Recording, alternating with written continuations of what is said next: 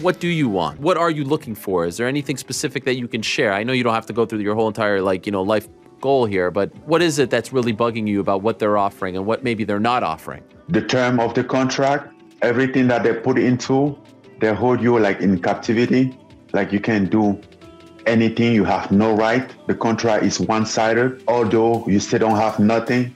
You don't even have a health insurance while you're doing this, uh, putting your body in the line on the line uh, to provide to put on the show, risking everything.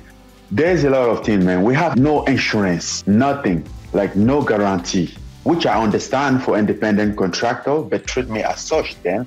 If I am, I mean, whether I'm going to be employer or independent contractor, but make it very clear in the contract. It's very mixed up.